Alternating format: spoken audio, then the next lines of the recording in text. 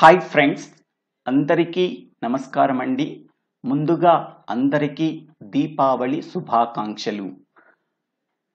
మనం దీపావళి పండుగన ఈ రోజున ఏ టైంలో జరుపుకోవాలి? తరువాత సూర్యగ్రహణం ఏ టైంలో ఎంతకాలం ఉంటుంది అనేది ఈ రెండు విషయాల గురించి మనం ఈ వీడియోలో తెలుసుకుందాం. దీపావళి అమావాస్య. స్వస్తి శ్రీ చాంద్రమాన శ్రీ శుభకృత్ నామ సంవత్సర ఆశ్వీజమాస బహుళ అమావాస్య సోమవారం అనగా ఇరవై నాలుగవ తారీఖు పదవ నెల రెండు వేల ఇరవై రెండున సాయంత్రం ఆరు గంటల పదిహేను నిమిషాల నుండి ఎనిమిది గంటల ముప్పై నిమిషాలలోగా దీపములు పెట్టుటకు మహాలక్ష్మి ధనలక్ష్మి పూజలు చేయుటకు శుభప్రదంగా ఉన్నది.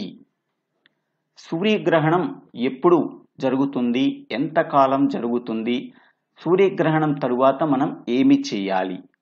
శ్రీ శుభకృత్ నామ సంవత్సర ఆశ్వీజ మాస బహుళ అమావాస్య అనగా ఇరవై ఐదవ తారీఖు పదవ నెల రెండు వేల ఇరవై రెండున స్వాతి నక్షత్రమందు కేతుగ్రస్త సూర్యగ్రహణం. ఈ గ్రహణం చిత్త స్వాతి విశాఖ నక్షత్ర జాతకులు తులరాశి వారు కూడా ఈ గ్రహణమును చూడకూడదు.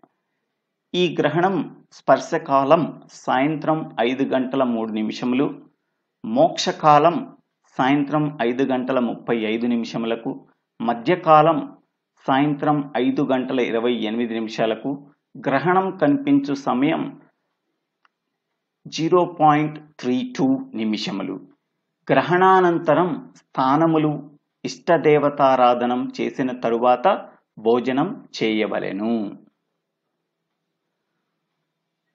అందరికీ మీకు మీ కుటుంబ సభ్యులకు అందరికీ దీపావళి శుభాకాంక్షలు. మీ కలలు చిచ్చుబుడ్డిలా వికసించాలని మీ బాధలు లక్ష్మీ బాంబులా పేలాలని మీ ఇంట నవ్వులు భూచక్రంలా తిరగాలని మీ జీవితం రాకెట్ అంత ఎత్తుకు ఎదగాలని మనస్ఫూర్తిగా కోరుకుంటూ అందరికీ మీకు మీ కుటుంబ సభ్యులు అందరికీ దీపావళి శుభాకాంక్షలు. మీరు అష్ట ఐశ్వర్యాలతో ఆయురారోగ్యాలతో ఉండాలని అందరికీ వ్యూయర్స్కి సపోర్టర్స్కి సబ్స్క్రైబర్స్ అందరికీ మరొకసారి మీకు మీ కుటుంబ సభ్యులు అందరికీ దీపావళి శుభాకాంక్షలు. ఇట్లు మీ దివ్యల Srinivasarao thank you thank you one and all for watching this video